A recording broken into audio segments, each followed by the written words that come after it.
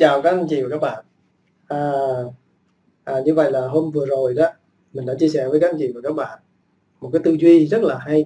Đó là làm thế nào để có thể là kiên định được cái mục tiêu của mình. Thì à, các anh chị và các bạn đã thấy rồi những người thành công trên thế giới à, những cái tấm gương đó còn rất là nhiều. Thì mình cũng đã thấy rồi là họ là những cái người thành công bởi vì họ kiên định cái mục tiêu của mình. Vâng và họ tập trung làm sao họ đạt được đúng cái mục tiêu do mình đặt ra. Mục tiêu càng rõ ràng bao nhiêu sự kiên định sự kiên trì càng lớn bao nhiêu thì cái khả năng thành công nó đạt được mỹ mãn bấy nhiêu. Thì à, ở video trước á, mình cũng đã chia sẻ với các anh chị và các bạn cái cách để làm sao mình tự kỷ ám thị cái sự kiên định đó. Nếu các bạn nào mà chưa xem thì có thể mình à, à, xem lại trong cái playlist đó để tìm mà mình xem cái video đó. Thì ngày hôm nay á, thì mình sẽ chia sẻ với các anh chị và các bạn một cái tư duy mới và mình sẽ lập trình cái tư duy đó trong cái uh, tiềm thức của mình ha. Thì uh, tư duy đó là cái gì? Như các anh chị đã biết từ trước đây á, thông thường á, thế giới đã sản sinh ra rất là nhiều những nhân tài họ là những con người rất là kiệt xuất. Họ rất là giỏi. Và lịch sử đã ghi tên tuổi của họ.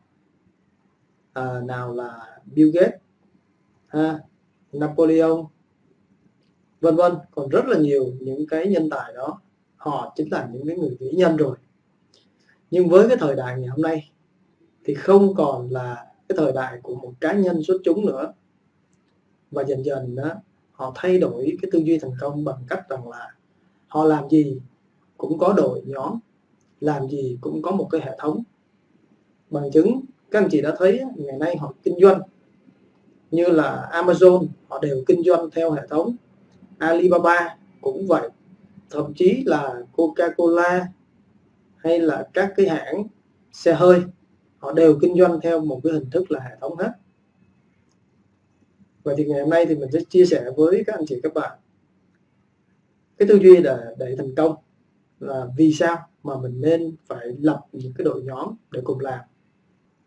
Và muốn thành công lớn thì à, cái à, cái đội nhóm đó phải có một cái hệ thống cực kỳ là gắn bó với nhau, cùng chung mục tiêu và cùng hướng đến mục tiêu và cùng thiết lập một cái mục tiêu rõ ràng và cùng phối hợp với nhau nhịp nhàng để có thể đưa đến những cái thành công.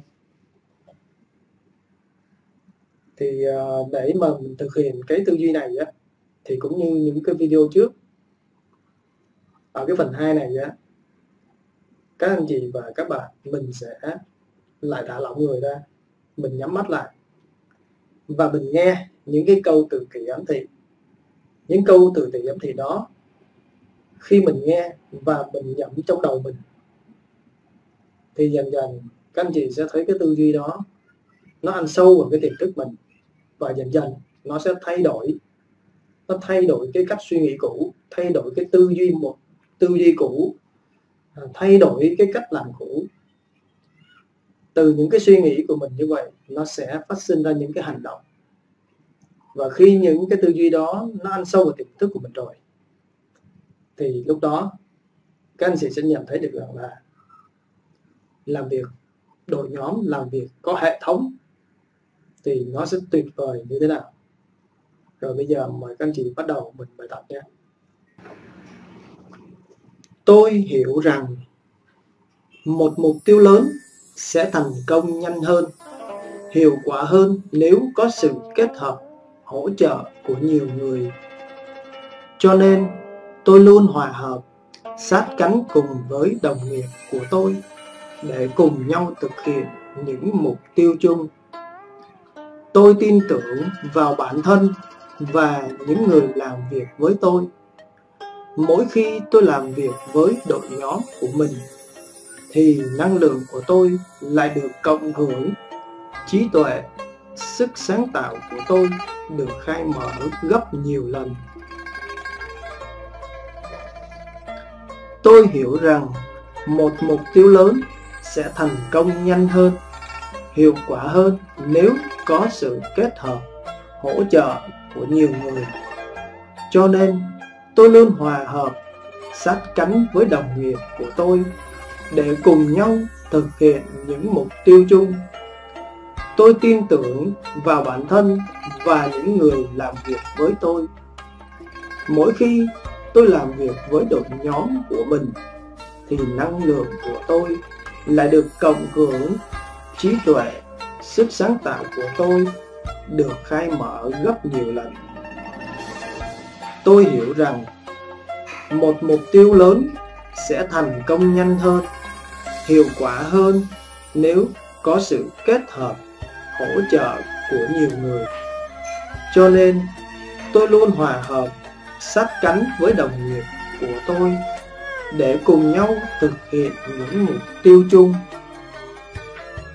Tôi tin tưởng vào bản thân và những người làm việc với tôi. Mỗi khi tôi làm việc với đội nhóm của mình, thì năng lượng của tôi lại được cộng hưởng. Trí tuệ, sức sáng tạo của tôi được khai mở gấp nhiều lần tôi hiểu rằng một mục tiêu lớn sẽ thành công nhanh hơn, hiệu quả hơn nếu có sự kết hợp, hỗ trợ của nhiều người. Cho nên, tôi luôn hòa hợp, sát cánh cùng với đồng nghiệp của tôi để cùng nhau thực hiện những mục tiêu chung. Tôi tin tưởng vào bản thân và những người làm việc với tôi mỗi khi tôi làm việc với đội nhóm của mình, thì năng lượng của tôi lại được cộng hưởng. Trí tuệ, sức sáng tạo của tôi được khai mở gấp nhiều lần. Tôi hiểu rằng một mục tiêu lớn sẽ thành công nhanh hơn, hiệu quả hơn nếu có sự kết hợp, hỗ trợ của nhiều người. Cho nên tôi luôn hòa hợp, sát cánh với đồng nghiệp của tôi để cùng nhau thực hiện những mục tiêu chung. Tôi tin tưởng vào bản thân và những người làm việc với tôi. Mỗi khi tôi làm việc với đội nhóm của mình, thì năng lượng của tôi lại được cộng hưởng. Trí tuệ, sức sáng tạo của tôi được khai mở gấp nhiều lần tôi hiểu rằng một mục tiêu lớn sẽ thành công nhanh hơn, hiệu quả hơn nếu có sự kết hợp, hỗ trợ của nhiều người. Cho nên, tôi luôn hòa hợp, sát cánh với đồng nghiệp của tôi để cùng nhau thực hiện những mục tiêu chung. Tôi tin tưởng vào bản thân và những người làm việc với tôi mỗi khi tôi làm việc với đội nhóm của mình, thì năng lượng của tôi lại được cộng hưởng. Trí tuệ, sức sáng tạo của tôi được khai mở gấp nhiều lần.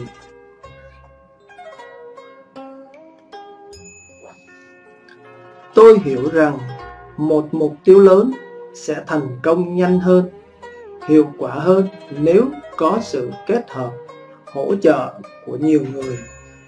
Cho nên, tôi luôn hòa hợp, sát cánh với đồng nghiệp của tôi để cùng nhau thực hiện những mục tiêu chung. Tôi tin tưởng vào bản thân và những người làm việc với tôi. Mỗi khi tôi làm việc với đội nhóm của mình, thì năng lượng của tôi lại được cộng hưởng. Trí tuệ, sức sáng tạo của tôi được khai mở gấp nhiều lần. Tôi hiểu rằng một mục tiêu lớn sẽ thành công nhanh hơn, hiệu quả hơn nếu có sự kết hợp, hỗ trợ của nhiều người. Cho nên, tôi luôn hòa hợp, sát cánh với đồng nghiệp của tôi để cùng nhau thực hiện những mục tiêu chung. Tôi tin tưởng vào bản thân và những người làm việc với tôi. Mỗi khi tôi làm việc với đội nhóm của mình, thì năng lượng của tôi lại được cộng hưởng.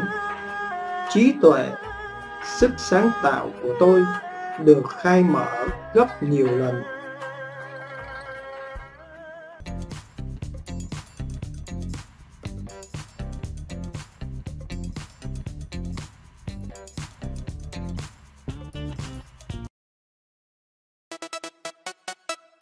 Don't stop.